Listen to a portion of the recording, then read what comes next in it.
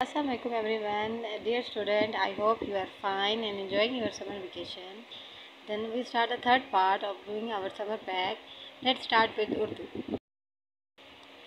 first you open the page of three thirty eight अब आपको उर्दू का वाला सेशन पे आ जाते हैं और हम जो है ना उर्दू को स्टार्ट करते हैं। अब उर्दू की हमारे पास सरगर्मी नंबर एक है कि दूसरा हर्फ बदल कर नए अल्फाज बनाने आपने, आपके पास पहले पहले लफ्ज़ दिए गए हैं। आपने बस दूसरे को जो है ना, दूसरा लफ्ज़ तब्दील करने के बाद आपने उसको मिला के लिखना जैसे अब इन्होंने खुद ही पहले एग्जांपल दी हुई है, अलिफ अदा कौफ, मको, आग।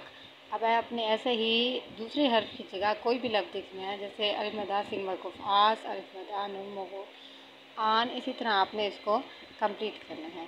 इसी का सेकंड पार्ट है कि अब आपने इसका ऑपोजिट करना है, इसका उल्टा करना है। ऊपर आपने सेकंड वाला हर्फ तब्दील करना था, नीचे आपने फ़र्स्ट वाला हर्फ चेंज कर देना है। पहला हर्फ बदल कर नए अल्फाज बनाए मसलन तीन अलिफ्सा तेमको सात जिम अलिफ्जा गौमको जाग। अब इसी तरह आपने फ़र्स्ट फ़र्स्ट लेटर लफ्ज़ जो है, उसके तब हरूफ जो है, तब्दील करते रहना है उनको इधर मिला के ऐसे लिखते जाना है। अब हम आ जाते हैं पेज नंबर फाइव के ऊपर, ठीक है? इधर सरगर्मी नंबर हमारी दो है कि दो हरूफी अल्फाज जोड़ने आपने, दो हरूफ हैं, उनको आपने मिला के लिखना है।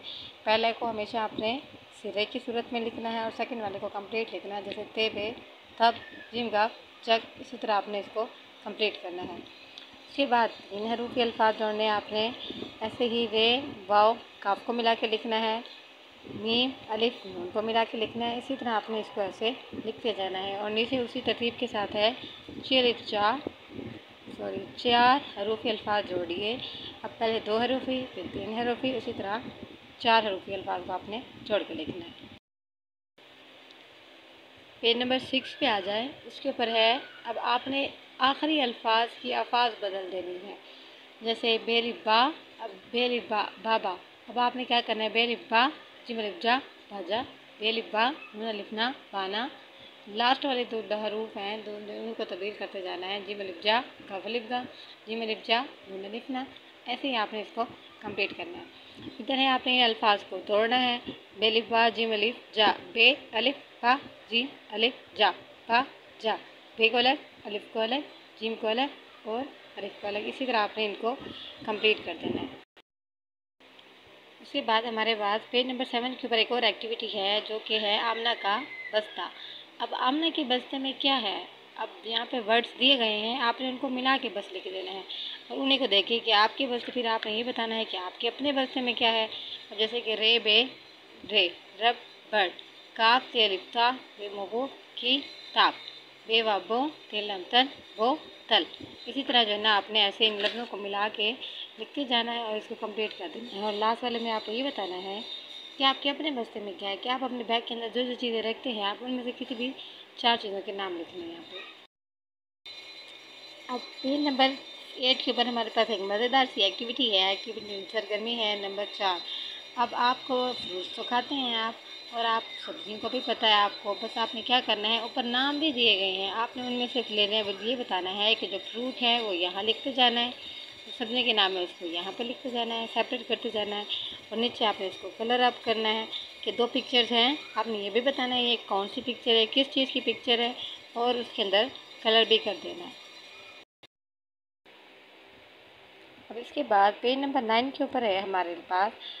दिनों के नाम तरतीब से लिखने हैं। दिनों के नाम ऊपर आपको दिए गए हैं। आप आपने वो बेतरतीब है, आगे पीछे करके लिखे गए हैं।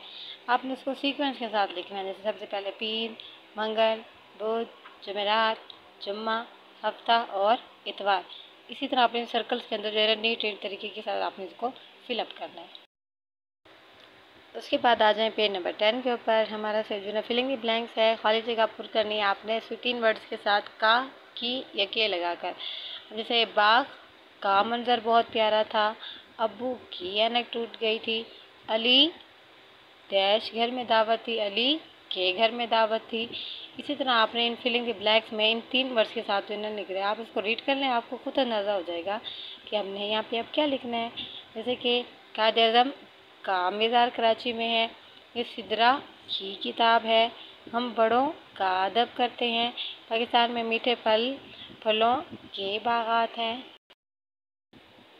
उसके बाद पेज नंबर अलेवन पे है। आपको पिक्चर दी गई है। आपने ये वो है या हैं लगाकर इन सेंटेंस बनाने छोटे छोटे से सिंपल से। जैसे कि ये क्या है? ये आम है, ये क्या है? वो दरख्त है, जूते, वो जूते हैं, ये एक गाड़ी है, ये तीन फूल हैं। ऐसे सिंपल से वर्ड्स लगा के फ़र्स्ट में और लास्ट में लगा के इस सेंटेंस को कंप्लीट करना है।